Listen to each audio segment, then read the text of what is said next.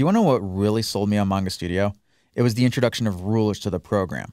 This has taken an idea that if you're a traditional artist, having things like rulers and curves and all these ways to add life to your lines was something that really wasn't in the digital realm. Usually you would have to use something like the direct draw tool to create your lines and curves.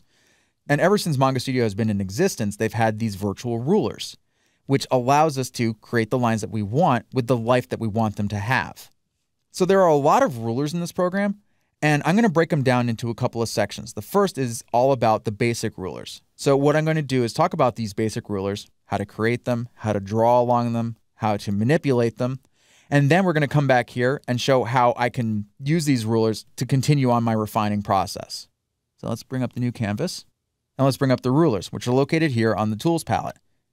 And remember, you may not see this icon here because it shares real estate with the direct draw tool, the frame tool, and so on.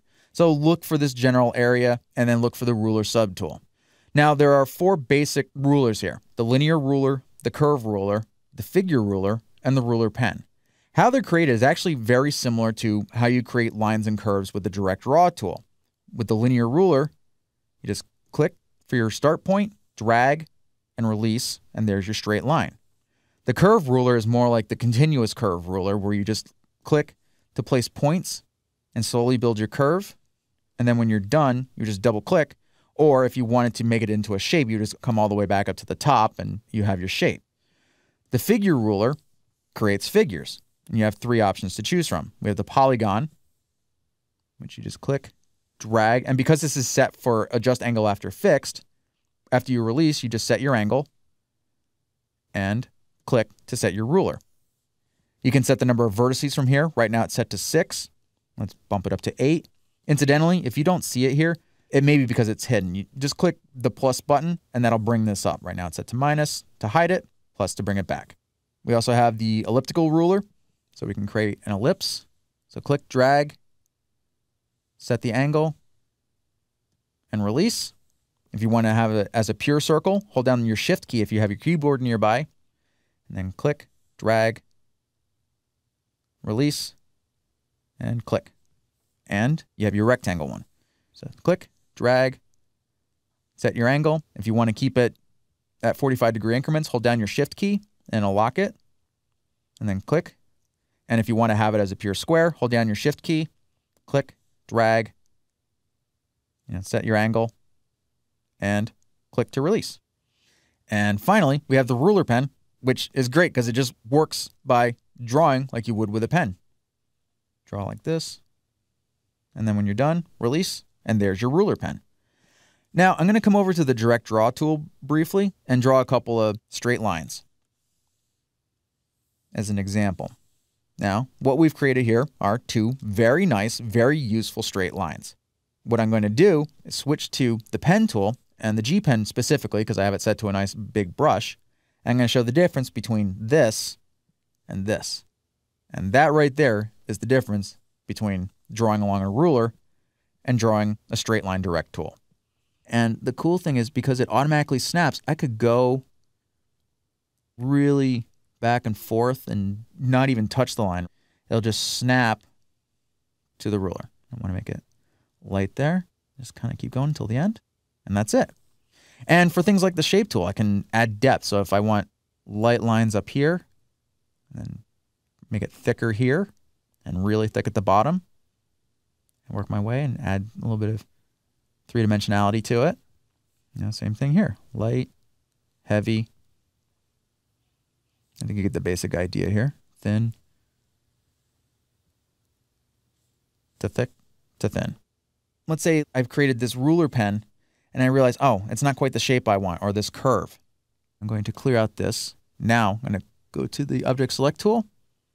I'm going to click the ruler and you'll notice this bounding box that appears as well as all these control points. And these were the control points that I used to create this curve.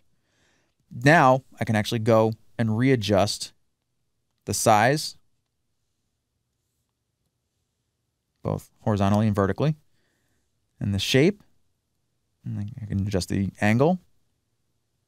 And I can even adjust these control points and reshape how this curve ruler works.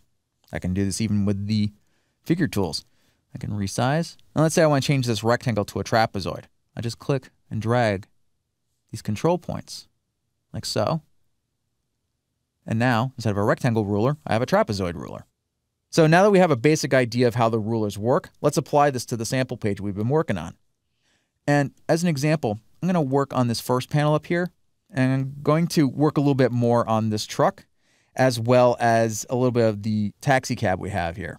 So I'm going to come over here, select the direct draw, switch to ruler, grab my linear ruler. I'm going to hold down the shift key and release. Incidentally, if you don't have your keyboard nearby, head over to the tool properties briefly and click step of angle.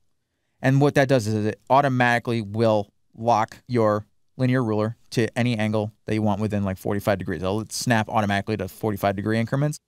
Go to the curve ruler, and I'm just going to do a quick click, click, and work a little bit on this bumper here. Now I'll switch over to the pencil tool. And here's another cool little trick, and this is going to be helpful as I work on this truck here. I could switch back to the object select tool, but again, if you have a keyboard nearby, hold down the command key on the Mac and just click the ruler and you'll see it's been selected. Now I can just drag this down, come over here, release, and it goes right back to my pencil. And now I just start drawing. And again, I'm going to switch over to the pen tool so I can again show the difference between what I drew with the curve tool here and what I can draw with the ruler. Just click and drag along the ruler.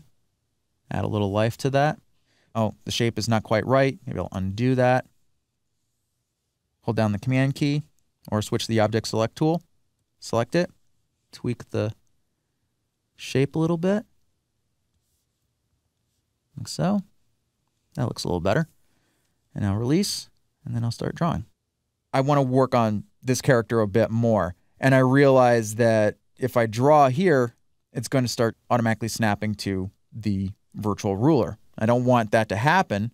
So first I'm going to undo. And then I'm going to come up over here to the command bar and I'm going to turn off the snap to ruler button. With that off, you'll notice it now has gone from dark gray to matching the rest of the command bar. I'll switch back to the pencil tool. I'll start drawing freehand and it doesn't even snap at all to that ruler or that ruler. I'll undo. And when I turn that snap back on, I start drawing, snaps off. I get to go free. Now, before I go, I'm going to come back here to the new canvas because you've probably noticed that there are three buttons here. There's snap to ruler, and then there are these two other ones. This one is called snap to grid. Now, snap to grid is for the grid feature in Manga Studio, which you can bring up by coming to the main menu and selecting view grid. And this brings up a basic grid. When snap to grid is turned on, I have my pencil tool selected.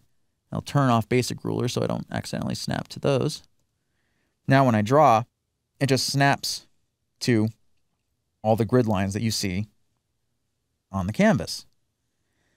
Now, might not be something that's useful right now when I'm working on the sample page, but let's say that I was kind of planning out an idea, a floor plan of a scene or whatever, and it'd be nice to have this ability to just kind of draw along the grid lines and map out my room or whatnot very easily. And then finally, there's the snap to special ruler. And we're going to talk about that one in the next video.